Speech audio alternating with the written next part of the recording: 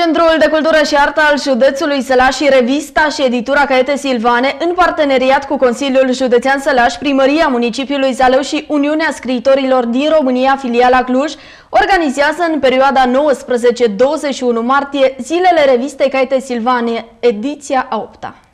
Manifestările vor debuta joi, 19 martie 2015, ora 12, la filiala Cluj a USR, unde va avea loc prezentarea revistei Caiete Silvane și lansări de carte Silvană. De asemenea, vineri, 20 martie 2015, de la ora 13, sunt programate întâlniri ale scriitorilor prezenți la zilele revistei cu profesori și elevi de la Colegiul Național Silvania, Colegiul Tehnic Alessandru Papiu Ilarian și Liceul Pedagogic Gheorghe Șincai din Zalău. De la ora 16, manifestările se vor muta în sala Dialoguri Europene de la Centrul de Cultură și Artă al județului Sălaj. Potrivit lui Daniel Săuca, aici va avea loc o dezbatere cu tema Caiete Silvane, 10 ani, dar și lansări și prezentări de carte și reviste, lecturi publice, editura Caiete Silvane.